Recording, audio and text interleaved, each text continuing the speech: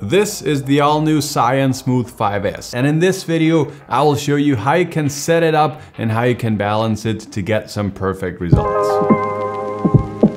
And what's up everybody, my name is Julian, I'm the creator of Smartphone Filmmaking Pro and I'm super excited to have you all. In this video, like I said in the intro, I will show you step by step how you can set up your all new Zhiyun Smooth 5S. I will show you how you can connect it to the ZY Cami app. And yeah, basically I'll show you everything that you need to know. So without any further ado, let's get started. So the first thing that I would recommend that you should do when you unbox your gimbal is to attach this little table tripod to your gimbal. This is very simple, just you know, use the quarter inch screw align it and then just screw it in. And this will be very helpful for balancing, for example, because then you can just put your gimbal on a table and it will not, you know, wobble around. So that's the first thing that I would recommend. And the next thing that you will notice is by the time you unbox it out of your package, you will notice that it, it feels very stiff. It's not wobbling around. And the first thing or the next thing that you need to do at the back of the gimbal, you have a little button that says lock. And basically all you gotta do is unlock the gimbal and then suddenly this axis is released. As you can feel, you know, this axis at the top here still is locked and there is no knob to unlock that. The only thing that you need to do is just press a little bit and then you can see that all of these axes are free and that's what we want. And that's basically the first thing that you should do. And this is also very important to know because when you're traveling, I would always recommend that you lock the gimbal again, spin it until it locks, put it in, and then it won't wobble around. You can put it in the case and it will be just much more secure compared to it wobbling around. The next part of this video will be the balancing part. And I know from the Zhiyun Smooth 5, which was the predecessor to this gimbal, that a lot of you guys are struggling with that. So I'll show you in depth and very slowly how you can do that. So the first thing that you need to do is, like I said, unlock all the axes. We have done that already. And next up, you need to bring the gimbal in a position where this part of the gimbal is facing towards you and this part where you can actually clamp in your phone has to face towards yourself and you need to be able to read Zhiyun. That's very important because I've seen many of you guys that had, I don't know, some weird combination like this where it just was not working. So that is very important. Make sure that this part of the gimbal is facing towards yourself and you need to be able to read Zhiyun without, you know, you having to spin your head around.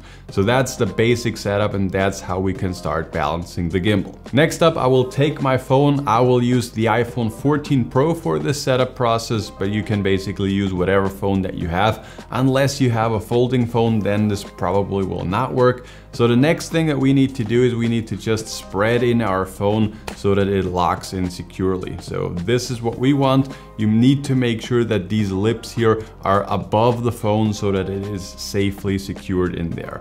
So that's basically it. And now as a coincidence, it already is balanced pretty good. So I will just open this knob here at the back and I will just, you know, bring it out of balance. So maybe if you put in your phone, it will look something like this. And the first thing that I would recommend that you should do is unlock this knob here at the back. You can see you can slide it around and you can basically bring it into the position where your phone stays in its position without falling over. That is the goal. That is the goal when you're balancing the gimbal. So what we will do is we will just slide it a bit to the left because it's leaning to the left. So we slide it even a bit more. And now you can see it's leaning a bit to the right. So we'll bring it back just a little bit. And that looks pretty good for now. So I'll just lock the screw here at the back. And the next thing that we need to do now that we have leveled this axis right here, we need to make sure or try that the phone also stays like this without falling over. And we can do this at the back back here, you can basically slide your phone upwards or downwards. So I'll just bring it down a little bit. And as you can see, this is now looking already much better, maybe even a bit more. Something like this. It's not falling to the left, not to the right, and it's leaning a bit forward, but that's basically as good as it gets. And that is basically the entire balancing process. If you were to add a filter, for example, something like, I don't know, a diffusion filter or an ND filter or whatever, you of course will have to change this position at the back here. But other than that, if you just use your phone naked like this, you can actually take notes of this little scale that you have at the back here and then you won't have to do it. You will just have to put in the scales just as they are marked here. You can do that, but to be honest, it's just, you know, not necessary. But that's basically it. That is the balancing part. And the only next thing that is left is we need to just turn on the gimbal. And we are now pretty much ready to shoot. So with a setup like this, you're basically ready to film whatever you would like because you can change all the modes directly on the gimbal and this is actually how I shot the music video, how I shot the launch video for the Zhiyun Smooth 5S. In case you have not seen that, I will link it up there and I also made a full review video on this gimbal. So in case you're interested in that, I will also link that up there. And like I have promised in the intro, I will now show you how you can set up your gimbal with the ZY Cami app. That is the app that Zhiyun delivers you with this gimbal. So the first thing that we need to do is we need to search the ZY Cami app. So I already can find it here, so I'll just tap on that very quickly and it now opens up in the background. As you can see, it now says connected to this device. If you cannot see this already, because I have already done this before once, just tap on connect the new device and then automatically it will show you the Zhiyun Smooth 5S. Then just tap on it once and then you are in this setting that I have right here. Next up, I just say access device and location information. Yes, next. Takes a minute then you have to log in.